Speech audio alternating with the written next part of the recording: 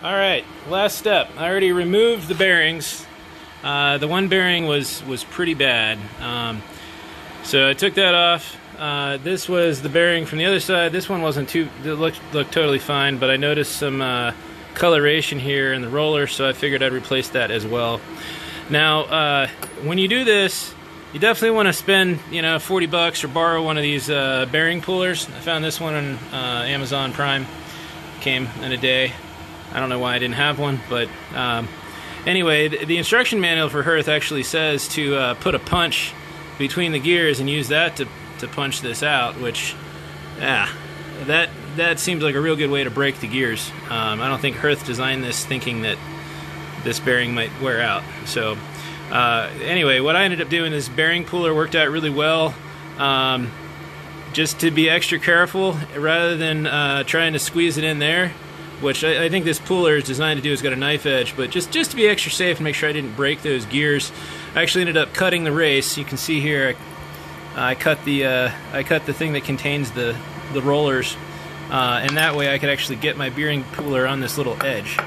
Um, you can see inside. Well, on this one, it actually came out by pulling on those wheels. Surprisingly, um, the other one was totally fried, and there's a little lip, um, the inner the inner race lip there you can see that, uh, which this thing grabbed onto just great. Popped it right out. It was took about 30 seconds. Uh, much better than breaking one of these teeth and having to replace this entire machined piece. So uh, I used the bearing puller to put the bearings back together again too. Um, I did try heating these to 250 degrees. I don't know if I'd recommend that. Uh, it didn't really seem to have too much of an effect on getting them on for whatever reason. So uh, but the bearing puller again, I just use that, squeeze it right together, and uh, yeah, looks pretty good. So tonight I'm gonna go ahead and put it together, and uh, hopefully that's it. All right. All right, here are the new bearings installed, and that turns real nice.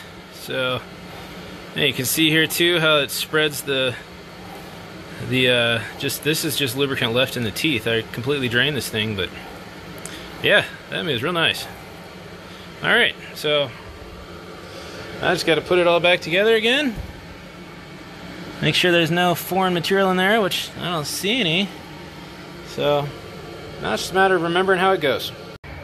All right, I went ahead and put the uh, transmission back together. I finally got all the parts. So I put everything back together again. Uh, use blue RTV rather than make gaskets. Figured they probably didn't have RTV when they put this together the first time. Uh, I will say you do need to check the fit. There's some rings on here inside the rings that hold the thrust bearings. Very important when you remove those plates that you pay attention to which rings are on which side. But also if you replace it with RTV, that spacing may change. So check that fit. Maybe look up uh, fitting taper bearings. Uh, anyway, as you can see here, I'm starting to put the electric back on. I'm going to build a stand for the fuel pump here. Uh, I brought the alternator back from the boat here. There's the alternator. And uh, I'm going to make a little rack to put this all on.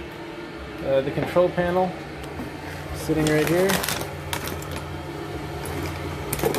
So I'll go ahead and mount that. Mount everything else up so I can run it.